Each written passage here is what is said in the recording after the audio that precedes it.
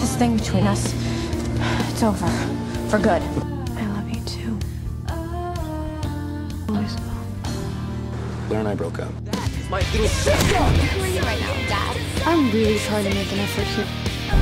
What's going on?